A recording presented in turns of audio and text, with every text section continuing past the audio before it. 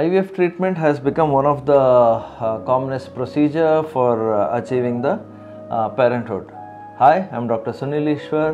I'm IVF consultant and laparoscopic surgeon at Aikya Fertility, uh, JP Nagar.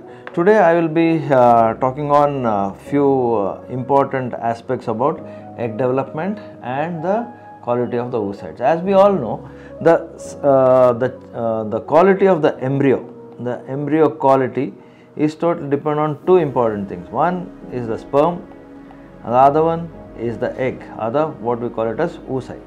So, if the egg quality is good, if the sperm quality is good, the embryo quality also is gonna be good. So today we will be talking more on the um, what do you say egg. Okay. So how the egg develops and what are the stages and how it affects the pregnancy outcome. So egg egg development has a different stages.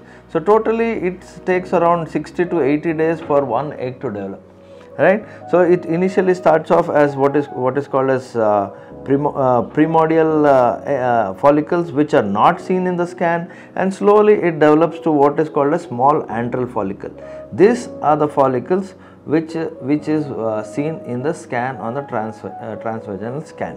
And slowly the small antral follicles become the pre-ovulatory or mature follicles.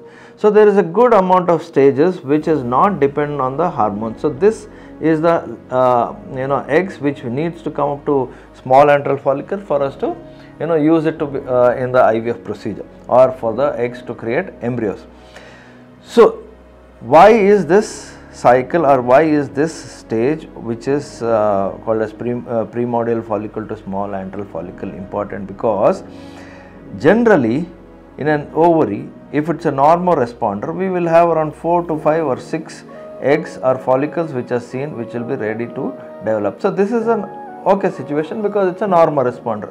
When it comes to a low responder, any where the AMH is low or the number of eggs which you are seeing is low and we want the numbers to be better, this is the stage which we need to work. These are the follicles which are not seen and yes, if we can develop these follicles, then the number of eggs to be used for IVF will be more and success is better. So that's the reason that is where, uh, where the role of preparation comes in.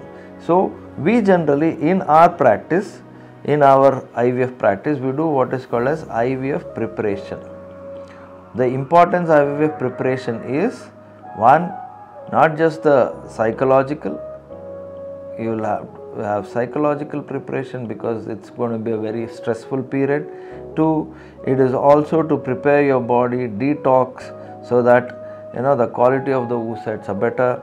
Give you some uh, medications which will improve the recruitment of medication to improve the recruitment of the primordial follicles.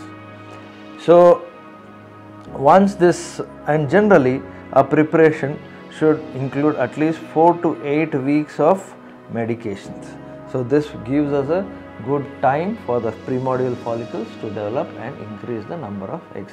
Even in patient with low ovarian reserve, people with generally with uh, low ovarian reserve or what we call it as low ovarian reserve or someone who has a low AMH, it is always better that you prepare yourself for at least 6 to 8 weeks to get a better outcome. Never in a hurry jump into the treatment. Thank you.